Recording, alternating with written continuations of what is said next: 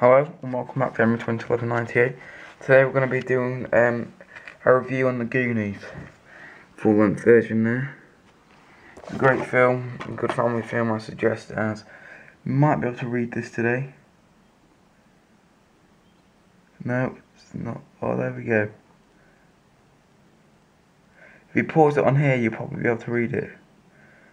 The, there, that's the back. Good family film, um, suggest watching it.